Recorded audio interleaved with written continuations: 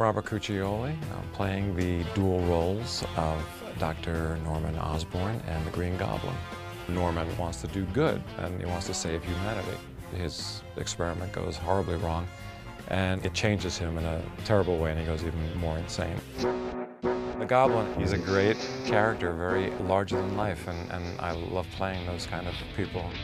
You just go out there and put pedal to the metal and just have as much fun as you could possibly have. Just love being bad. You spread the gospel of the goblin. It's time to mutate! Mutate or die! he can be a frightening character, and I think that's one thing that I bring to him was a high level of danger and a high level of instability. Are you insane? Do I look insane?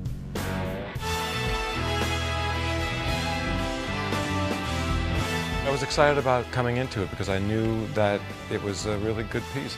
The audience is up on their feet cheering at the end of the show. I want them to leave highly entertained, very excited that they came, walking out and saying, wow, that was worth every single penny.